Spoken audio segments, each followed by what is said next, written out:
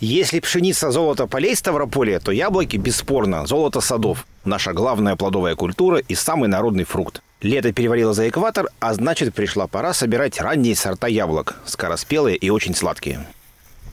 Этот сорт совсем другой.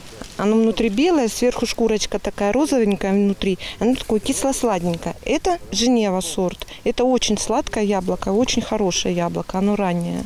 По данным Минсельхоза Ставрополья, первые 79 тонн яблок ранних сортов уже собрали аграрии Предгорного, Кировского, Изобильнинского и Кочубеевского округов.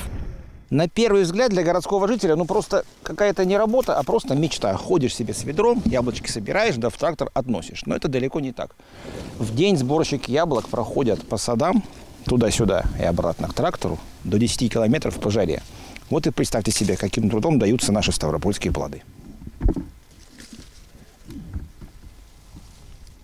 Площади садов на Ставрополье растут год от года и сегодня занимают 10 тысяч гектаров. Это как весь город Пятигорск. А площадь этого сада в Предгорном округе пока только 6 гектаров, но все еще только начинается.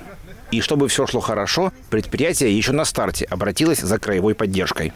Мы пользуемся, эта поддержка такая, знаете, софинансирование. Это когда часть денег выделяется с бюджета федерального уровня и краевого. И до трех лет.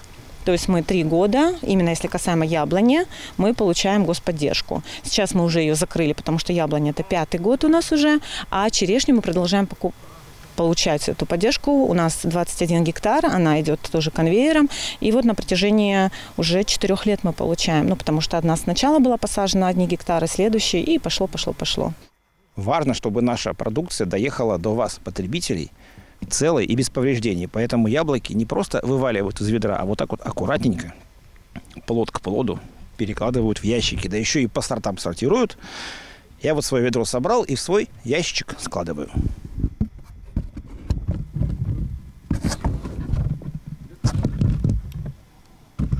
Отрасль садоводства на Ставрополе получает поддержку благодаря краевой программе развития сельского хозяйства. В этом году на эти цели по поручению губернатора Владимира Владимирова направили 294 миллиона рублей. А попробовали первые ставропольские яблоки нового урожая Алексей Форсиков и Сергей Трегубов. Ставропольское телевидение.